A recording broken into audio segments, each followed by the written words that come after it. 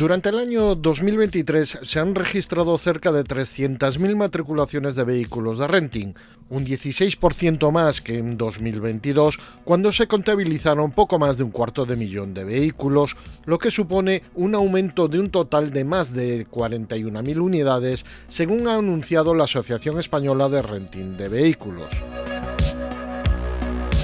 En relación a los resultados del mercado total de España, el renting ha registrado un incremento del 17% con 1.100.000 unidades matriculadas en 2023.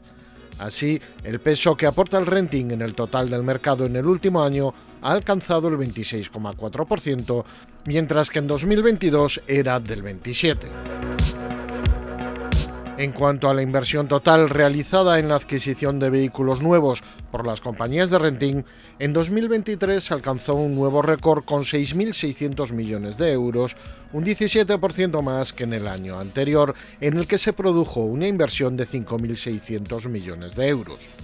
Por su parte, al cierre del año pasado, el segmento de vehículos que más representación tiene en el renting es el de derivados, furgonetas y pick-up, en donde el sector copa el 46% del mercado frente al 40% registrado en 2022. Además, en el mes de diciembre se han matriculado en el sector del renting un total de 27.000 automóviles, un 2% más que en el mismo periodo de 2022, con un mercado total que ha aumentado un 10% con 97.000 matriculaciones. Asimismo, en el último mes de renting ha supuesto el 51% del conjunto del canal de empresa, cuando en el año anterior copaba el 54%.